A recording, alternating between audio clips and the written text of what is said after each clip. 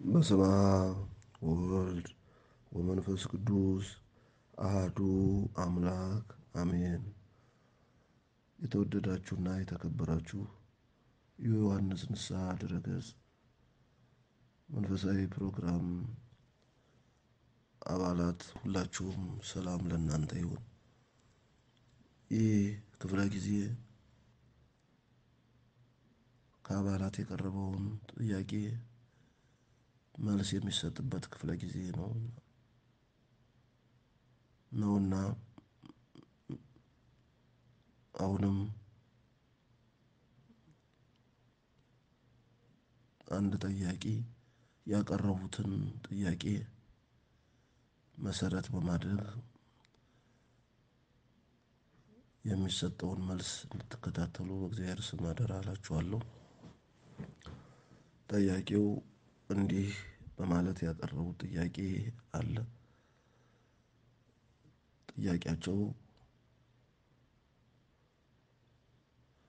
ቅዱስ ቁርባን መቀበል የሚችለው ምን አይነት ክርስቲያን እንደሆነ፣ በአንጻሩ ደግሞ ቅዱስ ቁርባን እንዳይቀበል የሚከለከለውስ ምን አይነት ሰው እንደሆነ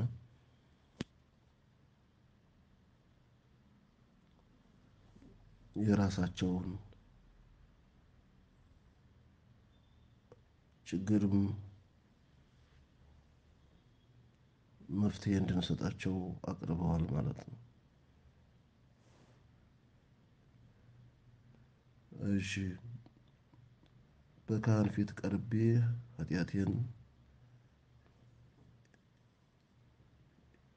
ተናዝዣለሁ። የተሰጠኝን ቀኖና ጨርሼ እግዚአብሔር ይፍታ ተብያለሁ። ንስሐ ገብቼ እሑድ እቆርባለሁ ብዬ አቅጄ ነበር። ነገር ግን ንስሐ አባቴ መቁረብ እፈልጋለሁ ስላቸው እሽታን አልመለሱልኝም። ምንም አስቸኮለህ ገና ነክ አንተ ዋናው ነገር የልብ ንጽህና ነው ወዘተ ነው ያሉኝ። እናም በጣም ነው ቅር ያለኝ። እንዲቆርቡ የሚፈቀድላቸው ሕፃናት እና ባለትዳሮች ብቻ ናቸውን? ቅዱስ ቁርባንን ለመቀበል ከንስሐ ቀጥሎ ምንም አይነት ዝግጅት ነው ማድረግ አለብኝ? ንስሐ እስከምገባ ድረስ ለመቁረብ የግድ ካህን ካልፈቀደም እንጂ አይቻልም ማለት ነው? የንስሐ አባቴ ካልፈቀዱልኝስ ምን ማድረግ እሻለሁ? እንግዲህ ስርዓተ ቁርባንን በሚመለከት ከዚህ በፊት በተደጋጋሚ በተለይ በጽሁፍ ብዙ መልሶችን ሰጥተናል። ቋሚ ትምህርትም ሰጥተንበታል። ቅዱስ ቁርባን በእርግጥም ለሁላችንም መድኃኒተ ነፍስ መድኃኒተ ስጋም የማይቋረጥ ሕግም ዘላለማዊ ሕይወትም ስለሆነ ሁልጊዜም ትምህርቱን ከመስጠት እኛም አናቋርጥም ማለት ነው። የሆነ ሆኖ ግን ከዚህ በፊት በጣም በስፋት ማለት ይቻላል ስለ ቅዱስ ቁርባን ትምህርት ሰጥተንበታል። አባላችን ያንንም ወደኋላ መለስ ብለው ማየት ይችላሉ። በትክክል አሁን ላቀረቡት ጥያቄ የምንሰጠውት መልስ መቁረብ ይችላሉ። ንስሐ መግባት በየጊዜው የምንሰራቸው ጥፋቶች ካሉ በነፍስ ልንጎዳባቸው የምንችል በሕገ እግዚአብሔር እንድንሰራቸው ያልተፈቀዱ የእኛን ቅድስና ንጽህና ሊያረክሱ የሚችሉ ስራዎችን ከሰራን በየጊዜው ወደ አባቶቻችን ቀርበን መናዘዝ፣ መጸጸት ላጠፋነው ጥፋት የንስሐ ሕይወትን ተቀብለን ቀኖና መግባት ያለ እና የሚኖር ስርዓት ነው። ይህም በልብ ወለድነት ሳይሆን በእግዚአብሔር ቃል ስለታዘዝን ነው። አባቶቻችንም የእኛን ኃጢአት የኃጢአት መሰሪያ እንዲፈቱ ደግሞም ለንስሐ ሕይወት የተዘጋጀ ማንነት ቢኖረን የኃጢአት ማሰሪያችንን ደግሞ ከእኛ ተፈቶን ከኃጢአት ነፃ እንድንሆን አመፀኞችና በደለኞች ሁነን መመለስ ባንፈልግ ደግሞ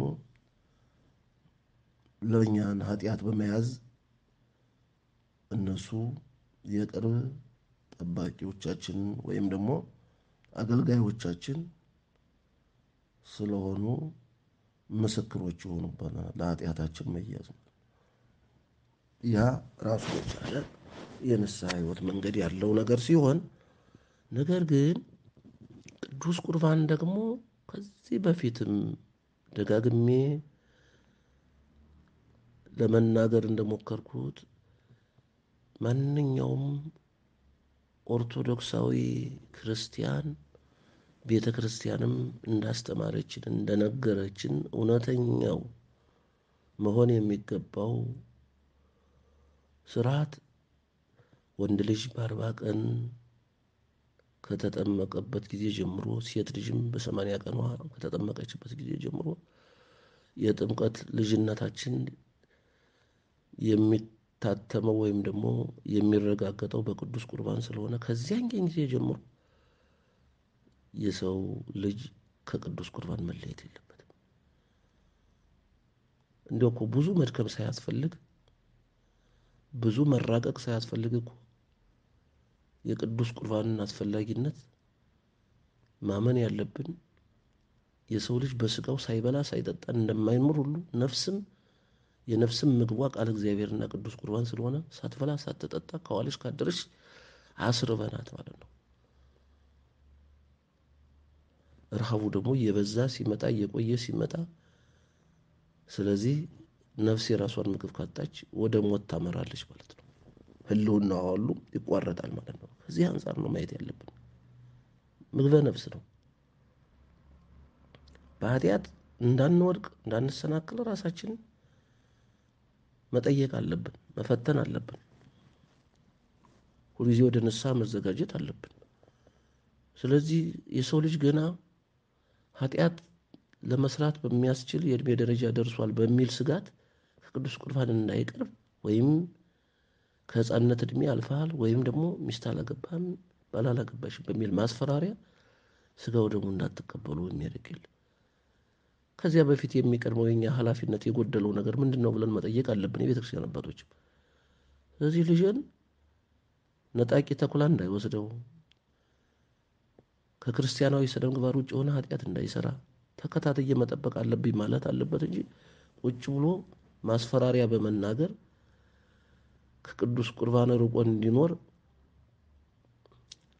በሚያደርግ ትዕዛዝና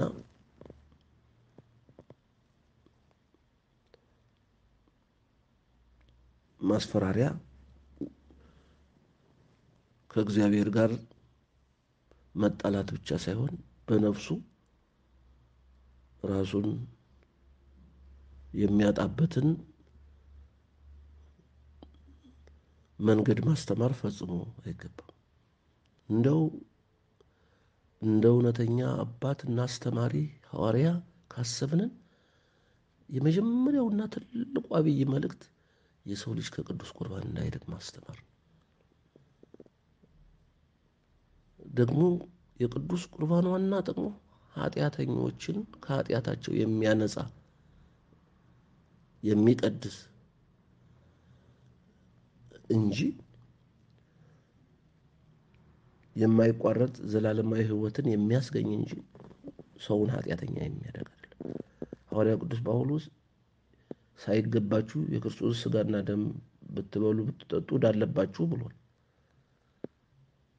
በእርግጥም በድፍረት በማቃለል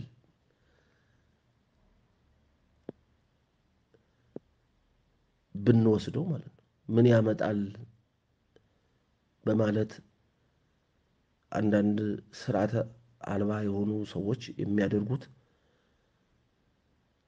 ድፍረት እንደምናየው ሁሉ በምድር ላይ እንዲሁ ልክ እንደዚህ በኑፋቄና በክደት ያሉ ሰዎች የክርስቶስን ፍጹም ስጋውን የእሱ ፍጹም የእሱ ቅዱስ ስጋው የሆነውን ፍጹም የእሱ ክቡር ደሙ የሆነውን መታሰቢያ ብለው ለማስታወስ ማለት ነው።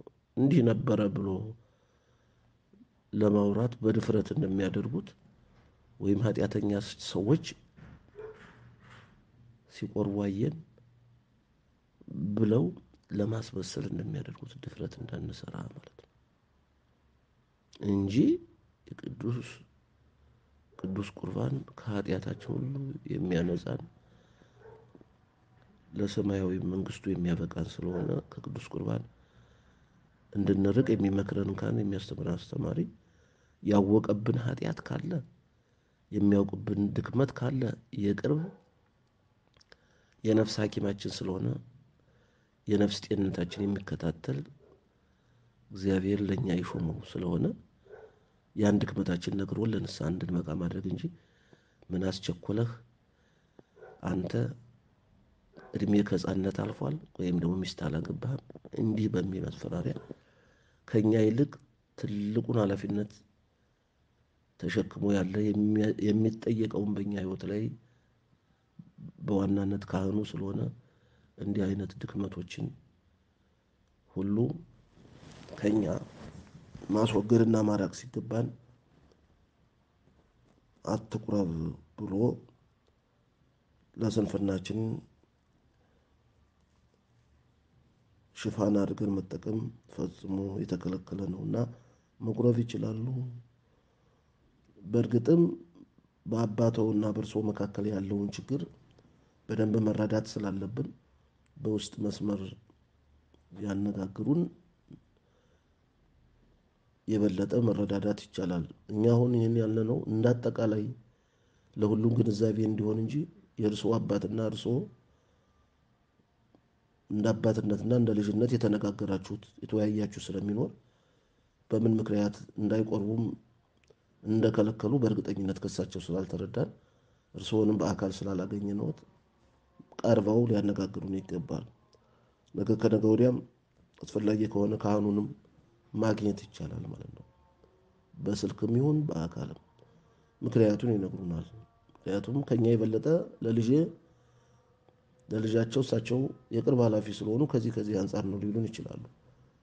ሕገ ቤተ ክርስቲያን ስርዓተ ቤተ ክርስቲያን ተመልክተው አይተው የከለከሉት ነገር ካለም መረዳት እንችላለን። በዋናነት ግን እንደ ቋሚ ሕግ መያዝ ያለብን በዚህ ምድር ላይ ከቅዱሳን ሐዋርያት አባቶቻችን ጀምሮ እስከ ሞት ድረስ በሃይማኖታቸው ምስክርነታቸውን ያረጋገጡት ቅዱሳን አባቶቻችን ዋናው ቋሚ ትምህርታቸውና ሕጋቸው ሰው ሁሉ የክርስቶስ ቅዱስ ሥጋና ክቡር ደም ተቀብሎ የዘላለም ሕይወት እንዲወርስ ስለሆነ ይሄ ቋሚ ሕግ አድርገን ሁላችንም መመስከር ስላለብን ነው። እንግዲህ እግዚአብሔር አምላክ ሁላችንም ወደ እሱ እንድንቀርብ ከልጅነት መንፈስ እንዳንወጣ ቅዱስ ቁርባን ተቀብለን የዘላለም ሕይወት እንድንወርስ ይርዳን። ወስብሐት ለእግዚአብሔር።